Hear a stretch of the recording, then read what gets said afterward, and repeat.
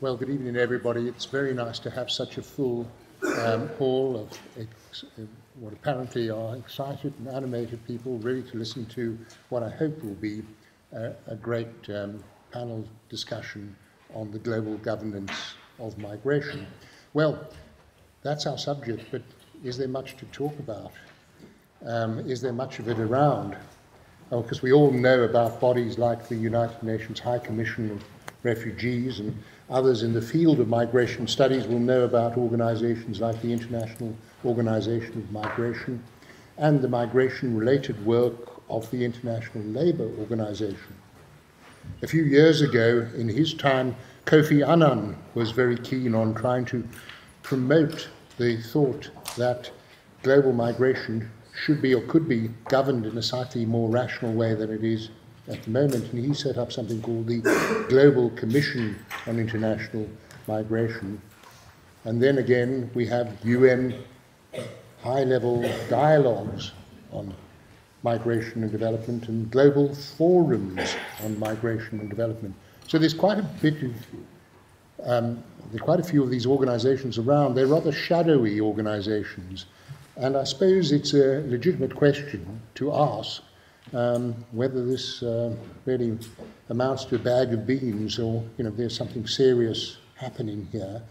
Do we really have significant um, a significant amount of regulation or uh, somewhat analogous to, let us say, the governance implied by the World Trade Organization.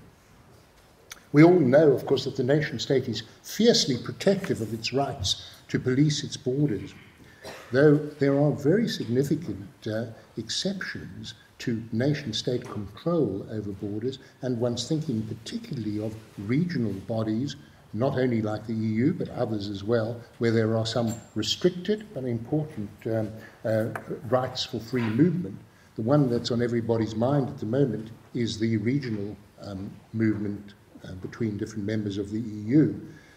So I think one might say, on the whole, although there are those very important issues like the EU to discuss, we nonetheless have to recognize that nation states have been fiercely protective of their borders. They've really, on the whole, failed or lost control of global, global flows of capital, information, and goods, but they're hanging in there in respect of immigration.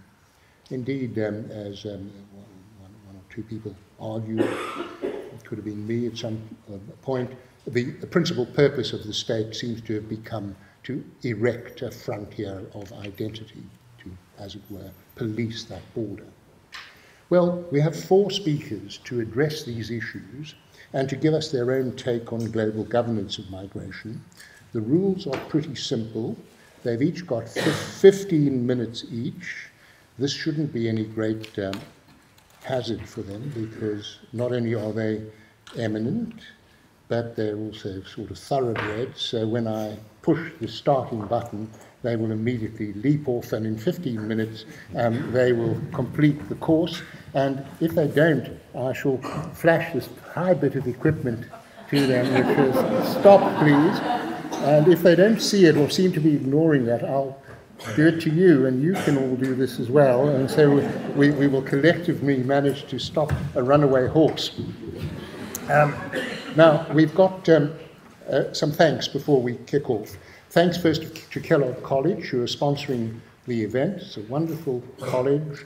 Um, great meals there, by the way. Um, and you're all invited to drinks afterwards.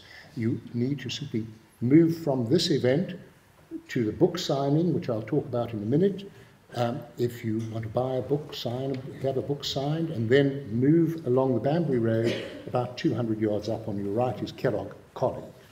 Uh, Kellogg has been very helpful to migration scholarship in the university and has decided to make international migration a key theme.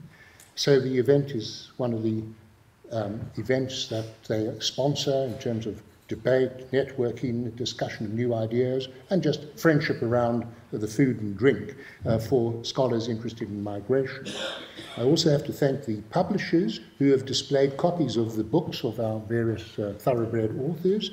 They are all out on, uh, as, you, as you leave this room, and I should particularly acknowledge Princeton University Press, who've also uh, contributed to um, this event. Um, later on, as you get towards um, Kellogg, you will also see displays of the three migration centres. We have no less than three um, migration centres, uh, uh, no fewer than three migration centres. I mean, some people say, well, in fact, a, a college head said to me, why do you have all these centres of migration? And of course, at the time, I didn't my riposte didn't come to me, I should have said, why do you have all these colleges? I mean, we could certainly get, get rid of some of them, but um, the, uh, we, we have a, a Centre for um, uh, Migration Policy and Society, COMPAS, we have an International Migration Institute, and we have a Refugee Studies um, uh, Centre, and we all get on terribly well with each other, and we are a community of, of, of, of migration scholars who do a lot of work in common. The centres will have a display at Kellogg, and you're all in, invited to come. Uh, toilets are downstairs if you can find your way through the hazards. If there's a, um, uh, otherwise just hang on. Uh, if there is a fire, you follow the little green, the green man. Now, we, we've got an order of play. Paul Collier, Ian Goldin, Cathryn Costello, then Martin Ruhs. There have been quite extensive descriptions of our authors. There's a short one up there, and there have been e-posters and so on. So I'm not going to repeat who they are. They're all eminent. They're all, you know, well well known in their field. But so rather than do that, I'm going to ask Paul Collier to step up to the plate and the, now we now start the tick off at 10 past. So he's got 15 minutes from now, and I'll wave it at them. Thank you.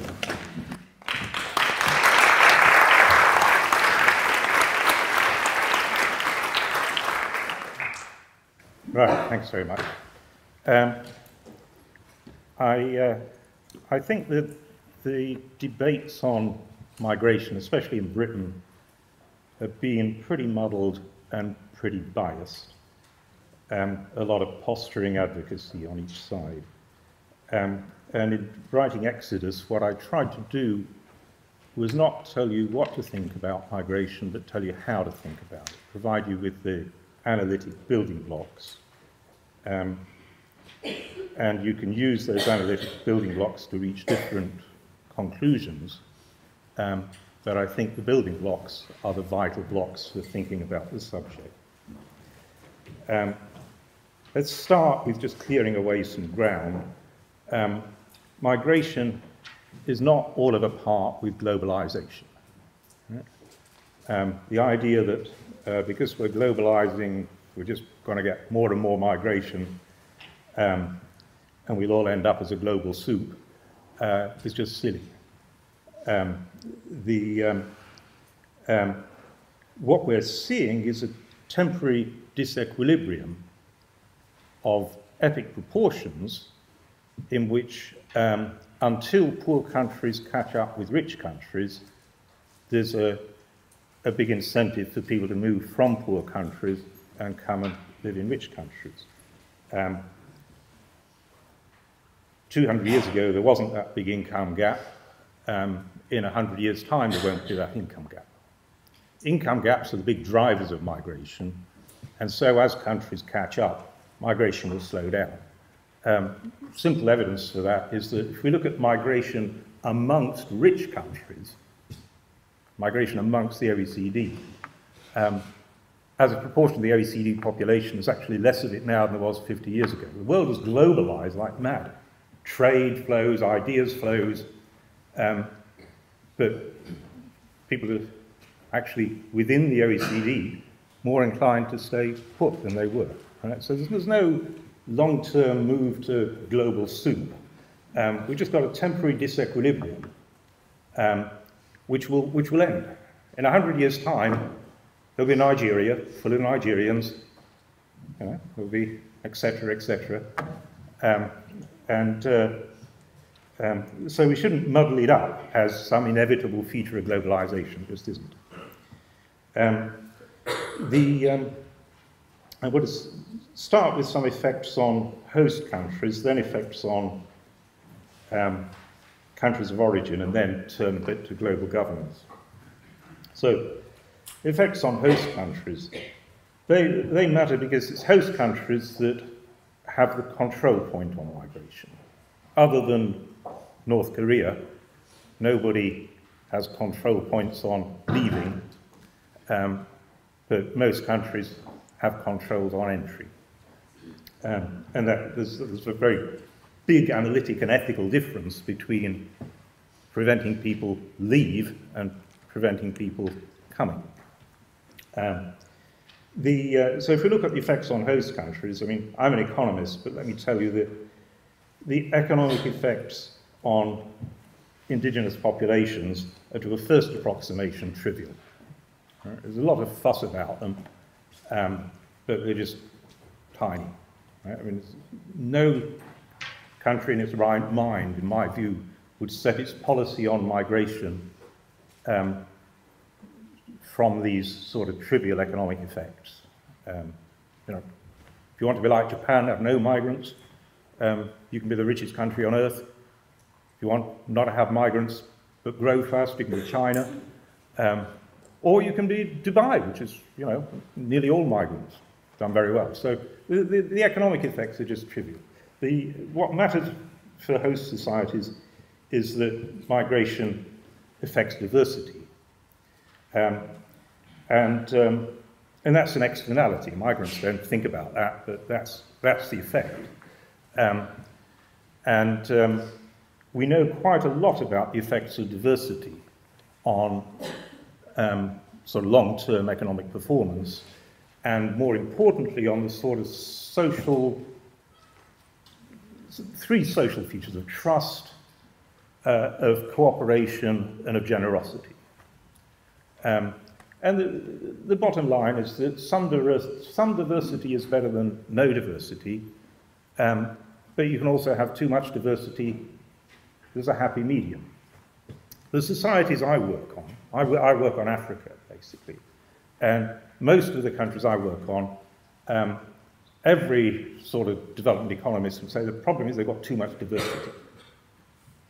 there's weak national identity strong subnational identities, very fragmented, so very low levels of trust, very low levels of uh, cooperation, very low levels of generosity beyond the family. So that's just bog standard development economics. You can have too much diversity, then you can have too little. There's a happy medium. I can't tell you how much diversity is just right, Goldilocks diversity. That's for each society to decide. You know? Um, but, uh, but that's what each society has to decide. How much diversity do we want? And then you, then you set your migration policy according to that. Um, the um, final building block on hosts is really important, which is that um, migration tends to accelerate. There's a very simple economic reason for that, which is again really sort of nailed down now, but only recently nailed down. And that is that you know, migration is fundamentally predominantly an economic decision driven by an income gap. Uh, but it's an investment. A migrant moves from a poor country to a rich one is costly. They're making an investment. So the people, that tells you, first of all, the people who migrate are not the poorest. Poorest people, poor people can't afford that sort of investment. So it's middle income people from poor countries that migrate.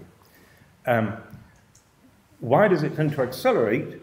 Because the big factor that lowers the costs of migration is having a welcoming diaspora of people from your society who've already come and formed a community, and, uh, and that lowers the costs. And so migration feeds the diaspora, diaspora feeds migration, and so migration accelerates. That's kind of one of the fundamental economic features of migration. And that, if you put that together with the fact that some diversity is better than no diversity. A lot of diversity is worse than some diversity. Um, you're going to have to have immigration controls. Uh, controls are not a, a vestige of a racist history. They're, migration controls are the future. um, for all high-income societies, because otherwise migration will accelerate to the point at which uh, they get too much diversity. So um, that's just, to my mind, you know, the sort of logical corollary of the key building analytic building blocks. Um, the, um, let me turn to the effects on countries of origin, which is the thing that really motivated me to, to write Exodus, because to say I, my sort of life's work has been about trying to get poor countries to, uh, to catch up. And so, what are the effects of emigration on the ability of countries to catch up? Um, and there are um, the various effects. There's a remittance effect. Um, I don't think that's very important, really, because um, the typical emigrant sends back about $1,000 per year. Um, but the typical emigrant is a, is a worker who, if they'd stayed put, would have produced $1,000 a day a year isn't very much. It's, you know, $2 and a bit a day. So you don't have to be very productive in order to produce that in your country of origin. So um, moving from poor to rich produces these big numbers of remittance flows, most of which go to China and India. So, but um, uh, but, but, it's, but it's a small economic effect on the whole. I mean, it, it, has some beneficial features. It's a bit like it's a sort of safety net. Um, but it's not a decisive force for, for, for catching up. Um, more important are um, the brain gain or brain drain effects. And this is an area that's been very heavily studied in the last few years. We know a lot more about this than we did even five years ago. Um, and it's, um, in essence, it's, uh, it comes up with the same sort of answer as the immigration to host countries. That is to say, some immigration is better than no immigration, and you can have too much as well as too little. Um, some immigration is better than none because um, the chance of being able to get out and earn a high income is a lure to people getting education. So it increases the incentive for people to get education. Um, in, a, in a society which has a low rate of emigration, like China or India, uh, that, in, that small chance, if you get education, you could hit the jackpot of a job in America, uh, induces a lot more people to get education than leave the country. So it's a brain gain. Um, but in small countries, um, where there's a lot of people leave, it's the opposite effect. It's a brain drain. Um, so um, economists have recently studied this. We can say here's the countries which have brain gain, basically the big ones like India and China, and here's the countries that have brain drain, um, basically small countries. And if you're small and not doing very well, then you hemorrhage your educated people. Like Haiti, about 85% of the educated young people leave. And that's kind of debilitating. Um, what we've not studied very well yet is beyond just formal education. Um, we know that people differ according to motivation, internalization, and that sort of thing. And there's certainly some evidence that it's the more motivated people who leave. Um, and that's, that's not a good thing. Um, if you move all the fairy godmothers from the poorest societies to the richest, that's very nice for the richest, but it's actually catastrophic for the poorest. So, um, so it's not a case of just sort of the, the more the merrier with, with immigration. Um, there's a final effect of uh, migration, which is feeding back onto, which is the most important thing potentially, which is the feedback onto political and social attitudes in the countries of origin. Um, and there's some evidence that there is some positive feedbacks. Um, for example, there's some evidence that uh, fertility decisions, people come to rich societies where people have lower fertility, and that feeds back, that influences fertility decisions back home. There's also evidence on um, uh, political attitudes and political participation, but the, where we've got clearest evidence of benefits is people who come as students and then go back. That is unambiguously super beneficial. People go back with skills and they go back with attitudes which are beneficial for their host society. So the thing that we really ought to be scaling up is temporary migration for education from poor countries, and then people go back. Um, what does all this mean for the global governance of migration? Um, we've got to make a sharp distinction between the rights of, uh, of migrants and the right to migrate. Um, in my view, there's, there's no global right to migrate. In fact, if you think about it, such a right would be both ridiculous and, I would argue, catastrophic for the poorest countries. Um, uh, they're very important that we have rights for immigrants, so that's a, a different matter.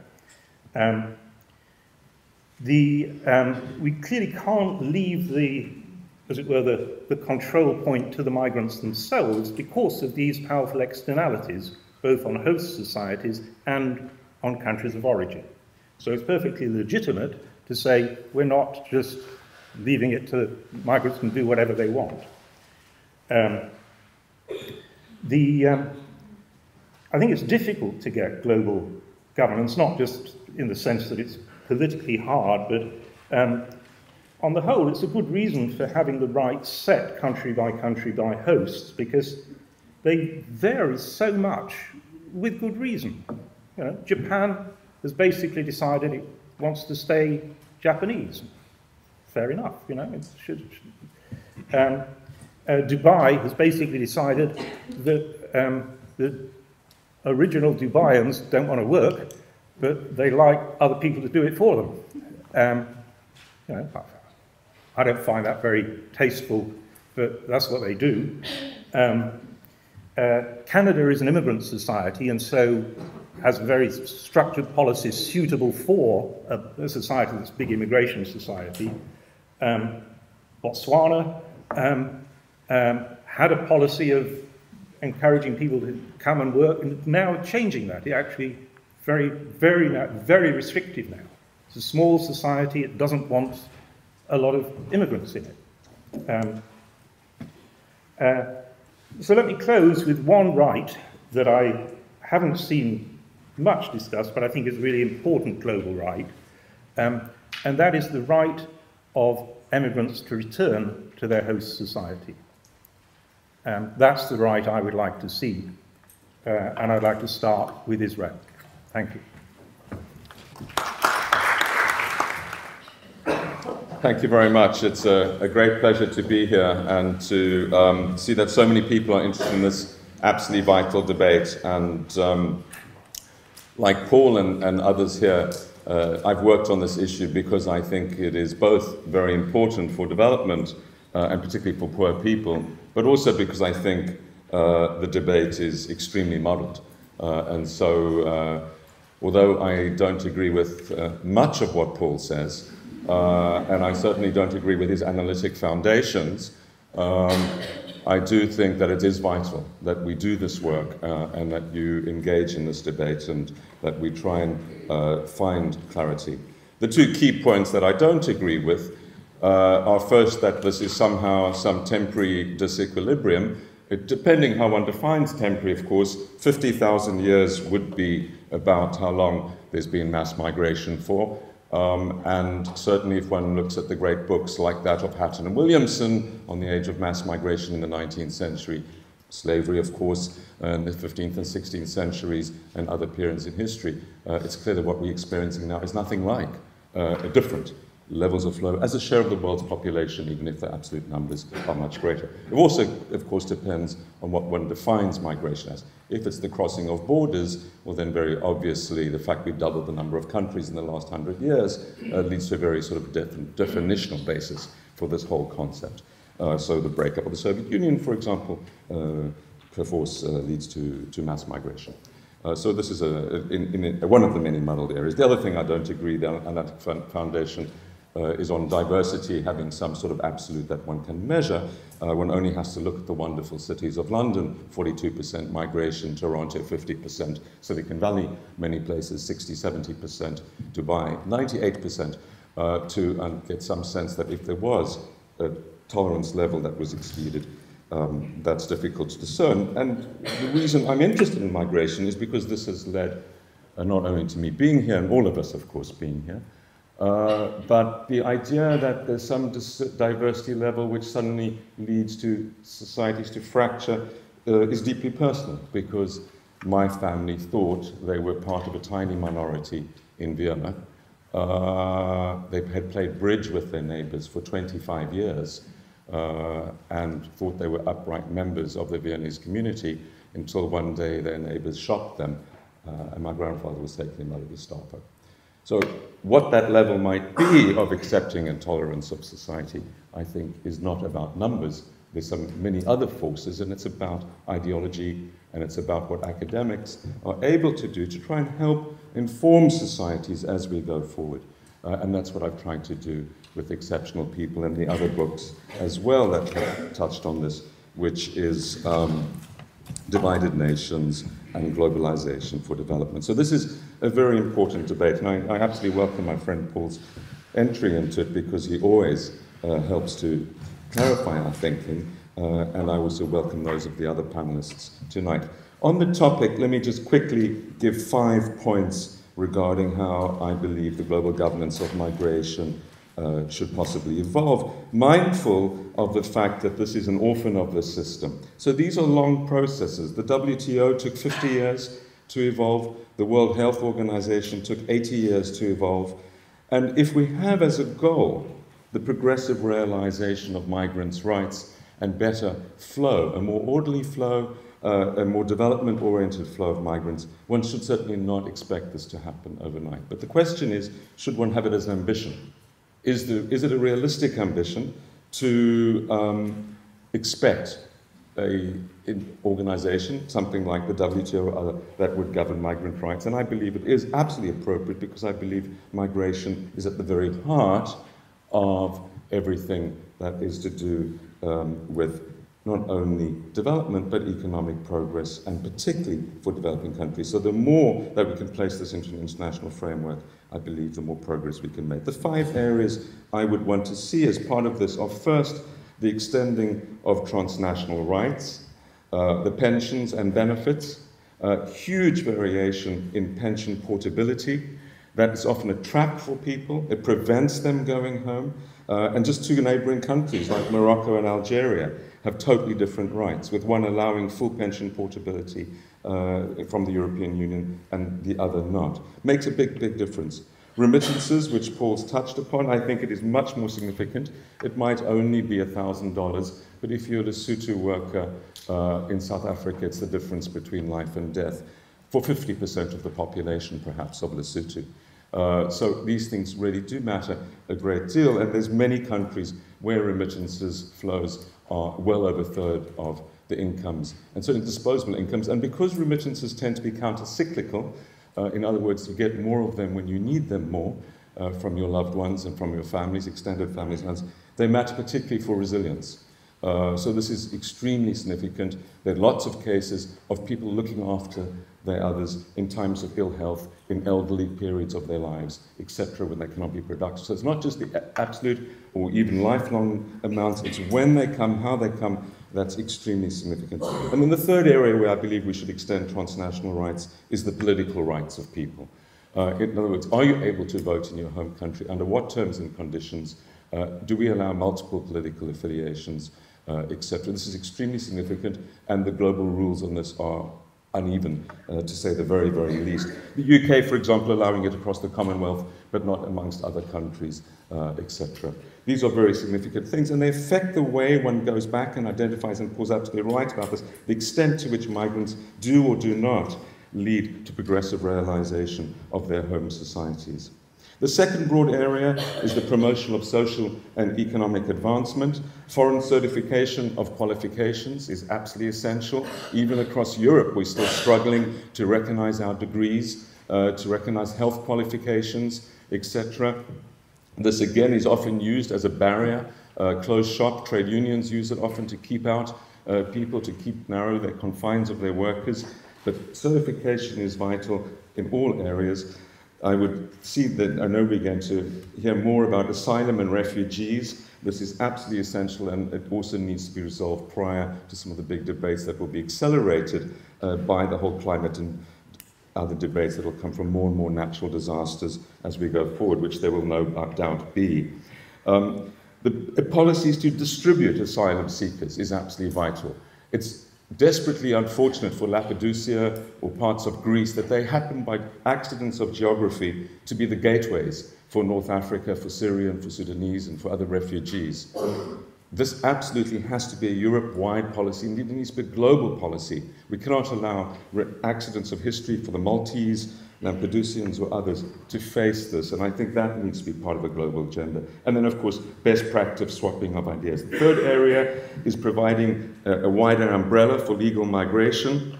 About two to four million uh, migrants uh, are undocumented per year across borders, we think. Again, very difficult to even say. The normalization of these has been shown, and there's great evidence coming out of the USA now on the whole normalization and documentation debate in the US as what it does, bringing people into the tax system, bringing them into the social security system, bringing them into the criminal justice system, bringing them into surveillance and other concerned systems. And when people become documented, societies do regard them in higher regard. Of course, they can contribute and they can also be kicked out. Uh, the questions of how one does this, the thresholds, etc., need to be sorted out. And then, as Paul mentioned, TMP, temporary migration programs, absolutely vital. As my former colleague uh, and co author Alan Winters has discussed, a small change in TMP of 3% would lead to global gains of well over 300 billion, far greater than trade liberalization as a means of bringing economic benefit. The fourth area is the combating of abuse, discrimination, and trafficking. Uh, perhaps that's obvious, I won't spend too much time on it, but clearly, because of the failure of treaty and law and governance, migrants tend in all their forms, from sex trafficking uh, all the way through to that what we're seeing in the Mediterranean to be amongst the most abused people in populations, and clearly that requires an international rule of law. And the fifth area is in improving research and data. It's absolutely shocking to see how little data there is and how we can all disagree on things that we should know about. So it's not only about the funding of more research, it's about common definition. What we call migrants differs from societies to society. No common definitions in many of the discussions so creating common databases, improving the metrics, improving this is what the uh, Center for Global Development in Washington, after a Blue Ribbon Commission, called the biggest blind spot in our view of the world economy, and I would certainly agree with that. It's a vital area, and I believe that improvements in global governance could go a long way. In this regard, our new, our new report, Now for the Long Term, which Pascal Lamy chaired, uh, which many great people were commissioners of and which reported about a month ago, has some practical suggestions as how you build coalitions, not going through one step to an international uh, governance agenda. I think that would be naively ambitious, but how you build this. The International Organization for Migration, IOM, is a great organization, about 150 members. It does certain things well but it does not do the things that I've just mentioned, the five points at all. It's not its mandate, it's not a UN organization, it does not include some key players like China. So, how you use these and other bodies like the Global Forum for Migration and Development as building blocks, I believe, is something that we need to work with. Thank you. Thank you very much to, the, to Martin and to the speakers. Um, I'm the token lawyer. Um, uh, there's, there's so much to say in so many different perspectives. And I think one of the main difficulties is the phenomenon of migration is just too many different things to really talk about them in one forum. Um, and obviously, that's something that is reflected in the global governance of migration. Um, but maybe just to reflect, first of all, a little bit on the opening contributions and then talk about global governance. Um, I think one of the things when we talk about migration um, and it's very clear from Paul's opening statement, is that when we talk about migration law, we're assuming that that law has a controlling function. So there has been an assumption made that migration law effectively controls migration. Um, but that's really all that that is. Um, and as a lawyer, I don't really have the skills to test that assumption. Uh, but thankfully, I have colleagues in Oxford and elsewhere who do. And unsurprisingly, as in lots of areas of law, migration law, particularly laws that seek to control migration, often have very unanticipated consequences, and certainly not always the consequences that they're held out to have. Um, but when we posit this question, obviously, one of the things that is very apparent if we ask the question, well, does this law meet its stated aim of restricting migration? Um, is, well, what's the counterfactual? Do we know about, enough about the situation if there were more liberal migration controls? Um, but we have lots of examples that we can look at where migration controls have either, where there just haven't been migration controls, and we look at what happens when we do institute them, or we can look at great experiments in free movement, like within the EU. And one of, I think, the most interesting things when we look at those empirical examples is that under conditions of very liberal or no migration control, the right to return of which Paul spoke is actually most often exercised. In other words, what we know is that in the absence of migration control, circularity becomes the norm rather than settlement under some conditions. Um, now, that's something that colleagues at IMI have investigated, and there's a wonderful ongoing project um, looking at the impact of migration policies, um, looking across 38 host countries. And the, some of the findings are startling and very interesting, and I, I, commend it to you, and it's going to be very interesting to see the full fruits of their analysis. Um, but wearing a slightly different hat, um, I often think, well, if it's not migration law that exactly regulates migration, um, and if migration law has a lot of unanticipated consequences, which I'll return to in a moment, then what about other aspects of the law of the land? And I think what we always have to build into this discussion is, is a question about labour markets and labour market regulation.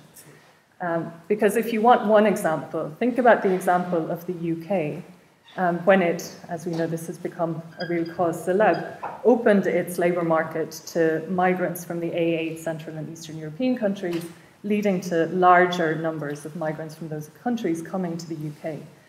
Well, an opposite comparison would be with Sweden, which made the identical policy decision, and only 50,000 people went to Sweden, even though Sweden was equally prosperous.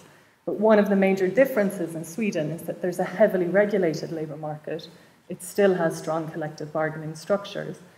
And employers just didn't see any particular advantage in, in hiring a, a, migrant over a domestic worker. Now, you could say that's a bad thing for migrants, and that would be part of the discussion I think we would need to have. But from what we do know, and there is quite a considerable evidence base on this, you know, how a state chooses to regulate its labour market has a huge impact on um, how many uh, migrant workers are going to be present. Um, and that's before we even discuss questions about enforcement of labour laws, irregular migration, um, and the types of labour markets that draw um, a lot of migrant um, labour. So those are just two observations about the effects of the law and the importance of not imagine, of, of, of building into a discussion about migration law, also questions about labour law and other aspects of domestic law and policy that clearly have an impact on migration.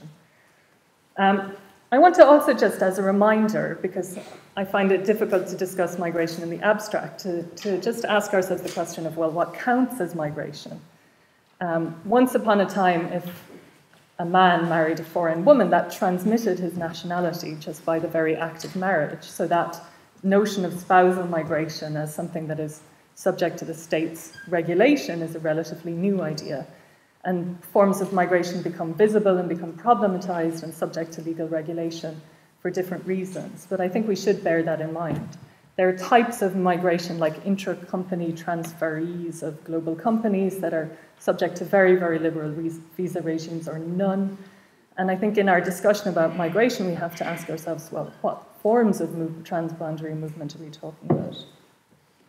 But one area in which there is, I think, quite a stunning ethical consensus across liberal nationalists like David Miller to communitarians like Michael Walzer to global justice folks is that you can't even begin to justify a state system without protecting refugees, without protecting those who are forced to migrate. And interestingly, certainly amongst ethical writers, the assumption is always that our formal definitions of refugees are not over, but rather they are underprotective.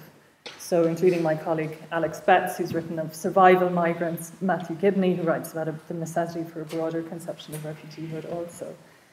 And an awful lot of the energies states put into regulating migration actually just fail to or preclude access to protection.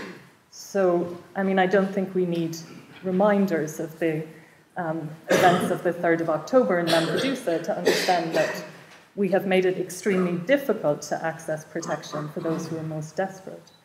Um, and if you want to lose sleep, I suggest you read about the situation in Eritrea. And Eritrea was, after all, the nationality of most of the migrants who, joined, who drowned on that occasion. Um, and, or also read about their other um, point of um, flight, which could take them through the Sinai to Egypt. So, in these kinds of cases, people are making calculations based on desperation. Um, and the things that we do ostensibly to control migration clearly are controlling access to the people that we all agree should be afforded protection. Um, so, I think when we look at um, those tensions between ethical commitments, which are also legal commitments, and realities, then we have to look at global, global governance in that vein. So, yes, for refugees, we have a very, very highly evolved legal set of rules defining who deserves protection. Um, but we don't have a set of rules defining who should afford that protection. So, there's a significant gap and a massive, I guess, coordination problem. Um, and even within the context of the EU, trying to agree rules about the distribution of responsibilities for affording protection is completely logjammed in a, in a very depressing way. Um, and I think there are then tensions between what states do in these fora and then other contexts in which you have less formal forms of global governance. Um, so there are plenty of regional consultative and global consultative processes where states, and in this context we really mean governments, share know how on how to control borders, preclude access to protection, and so on.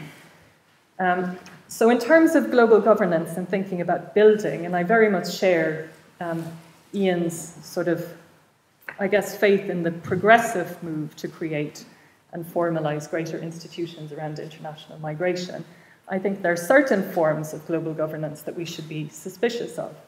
I think we should always be suspicious of forms of global governance where power asymmetries are going to be magnified. So there are certain forms of bilateral agreements, particularly on issues like readmission, where I think we should be deeply concerned. And actually, I think from a democratic point of view, I think we should always be concerned about instances where our governments escape domestic accountability mechanisms and then purport to act in our name by reaching agreements in smoke filled rooms. So, in contrast, so, some other forms of global governance actually have a modicum of transparency and accountability. And in those fora, you do get more progressive outcomes.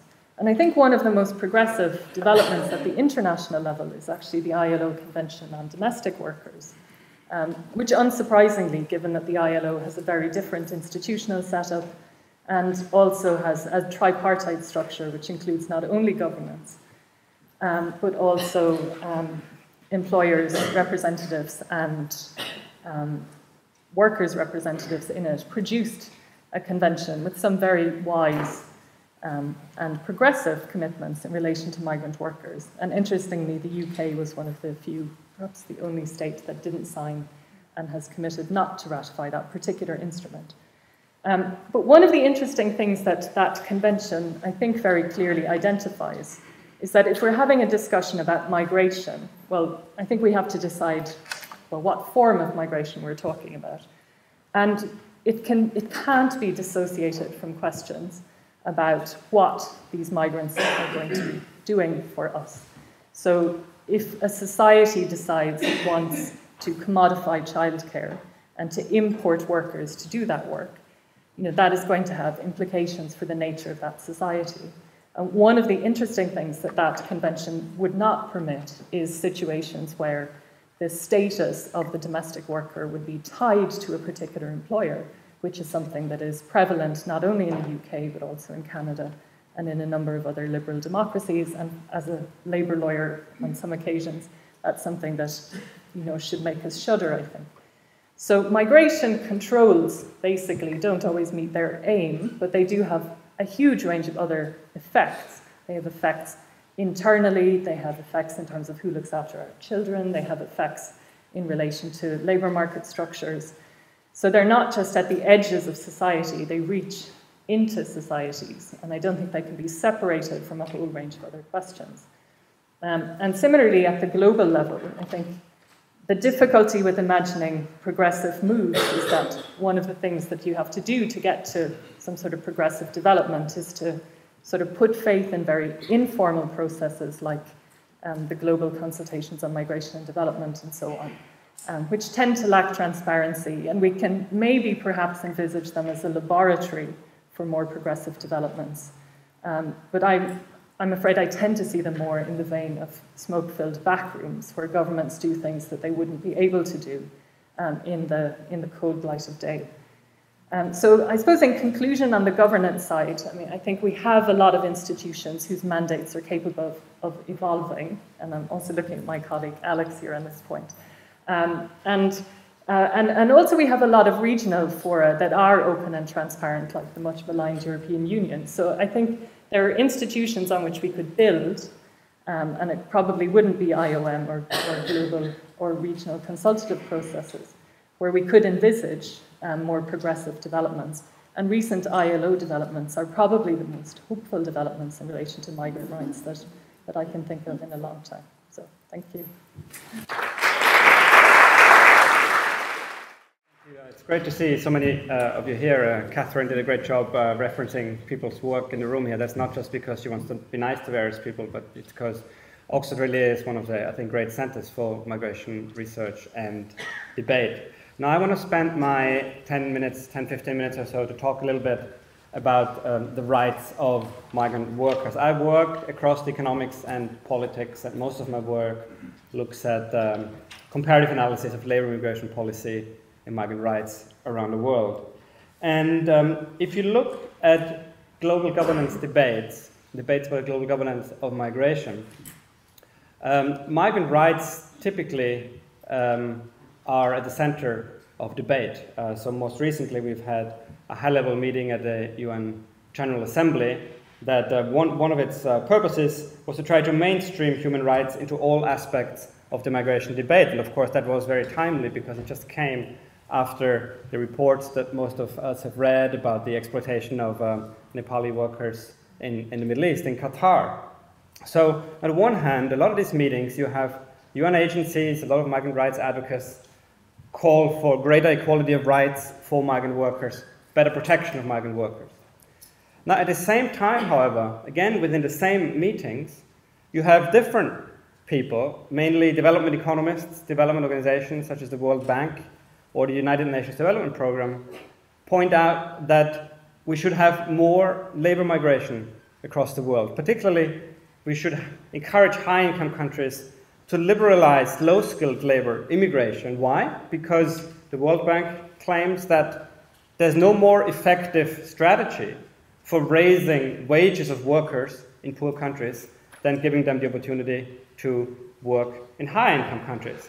Now, of course, uh, I think I take Paul's point that uh, we're not talking about unlimited migration, and there's different types of immigration that are more beneficial than others, but there's no, there's no debate about the fact that moving workers from low to high income countries is associated with very large benefits for migrants and uh, their families, and the, the relationship with development perhaps is more contested. So on the one hand, you have people who say we should better protect migrant workers' rights, the same meeting, you have people who say we should have more migration, especially low skilled migration. And the central argument I want to make today, which is based on my book, is that in practice, there's a tension between these two goals more migration and more rights, and you cannot always have both. Why is there a tension? Well, if you look at the labor immigration policies of high income countries, as I've done, you will see that they involve a trade off between access and some rights. So there are some countries that operate what I call high numbers, low rights policies. So the countries in the Middle East are a good example. We've already heard Dubai, but also Kuwait, Saudi Arabia, uh, Qatar, very large numbers of migrants coming in, but severe restrictions on migrant rights. At the other extreme, you've got Sweden and other countries in Northern Europe who operate low numbers, high rights policies. So Swedish you know, social democratic model insists on equality of rights. So it's very good rights for migrant workers, but Sweden admits very few migrants. So I think there's this tension between these two objectives. And if you accept this tension, this raises then very uh, interesting but exceedingly difficult ethical questions. And as always with the ethical, ethical debate, there's no one right answer. So one, one question, one obvious question is, can we ever justify restricting specific rights for migrant workers in order to facilitate more migration, in order to encourage more high-income countries to admit more migrant workers? And at the end of my 10 min minutes, I will make a normative argument. I will make, I'll give an answer to that question myself, but I hope that even you, if you reject my normative view, you will still um, accept that the trade-off point, the tension between more migration and more rights, is one that we should talk about. And that tension is one that has been completely ignored in global governance debates. UN agencies generally do not want to hear about this, and I think uh, this needs to end and we need to have more open debate. And just stepping back a bit, many of you will know that in 1990 um, we had a UN convention, a human rights treaty on the rights of migrant workers, 1990. Uh, now this treaty has become by far the least ratified human rights treaty in the world. Of all the human rights treaties that, that we've had since the 1960s, we now have fewer than 50 ratifications of that treaty. Fewer than 50 countries have ratified this treaty, almost all of them primarily sending rather than receiving countries, and many of them that have ratified do not have very good human rights records themselves. Now, the response from UN agencies and many migrant rights advocates to the low levels of ratification has been we need more campaigning, and people often emphasize that migrant rights are human rights, and migrant rights have intrinsic value that should be respected regardless of citizenship. My point is that in addition to the intrinsic value that rights have, the rights that migrants are given in receiving countries also play a very important instrumental role in shaping the effects of migration for migrants, receiving countries, and sending countries.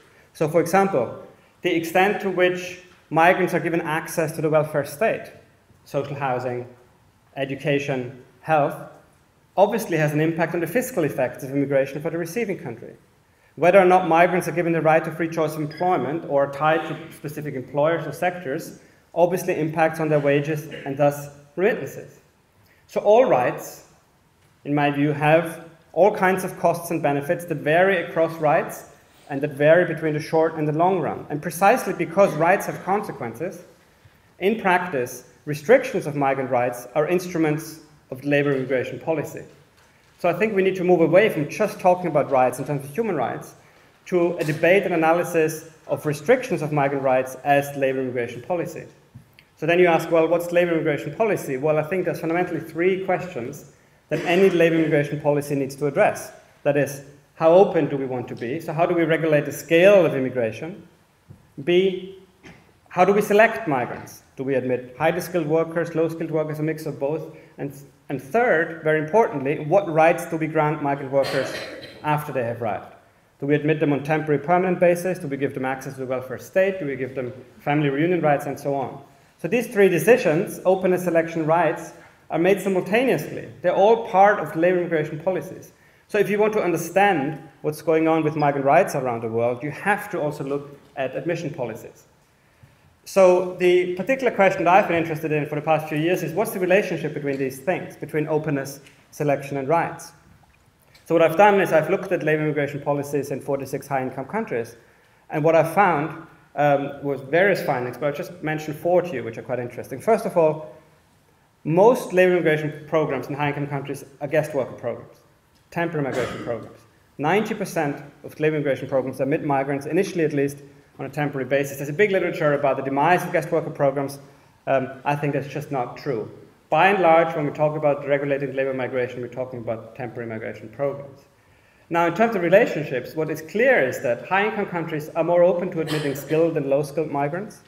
High income countries give skilled migrants more rights than low skilled migrants. And interestingly, and that's relevant to the debate today, is that there is this tension between openness and some rights that migrants are given. So the more open admission policies tend to be associated with greater restrictions on some rights. Not all rights are involved in this trade offs, just those rights that are perceived to create net costs for the receiving country.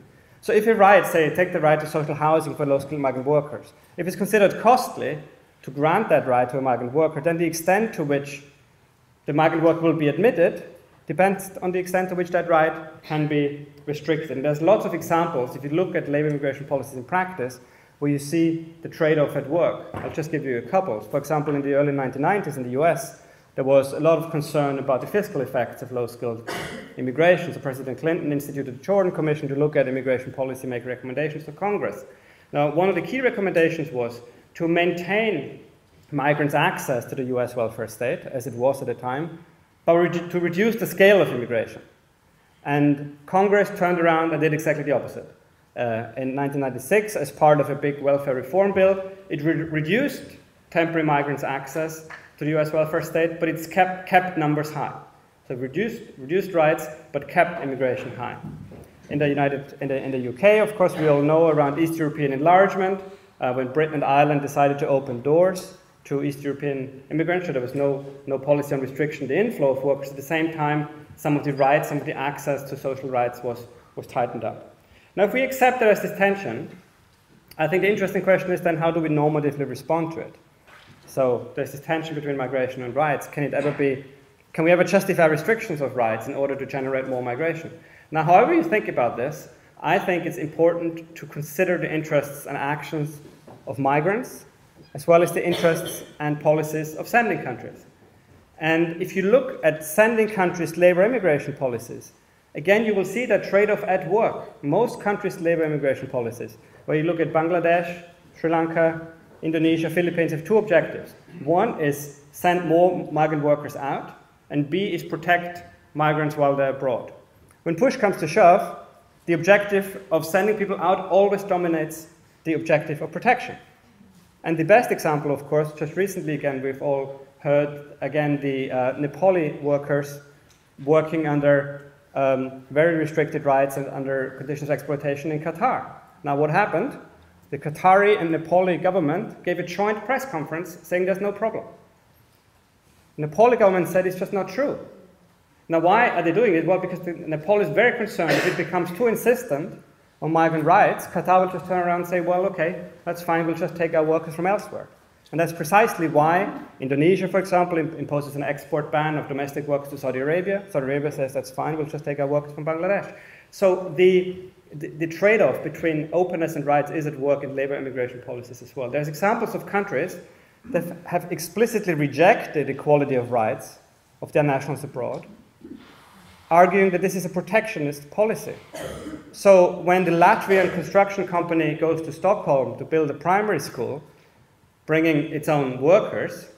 So when those workers receive less than the collectively agreed wage in Sweden, the Swedish trade unions protest and demand that these workers be paid Swedish workers. Now, from the Swedish point of view, this is an argument for equality and inclusion. From the Latvian point of view, this was a blatant argument for protectionism.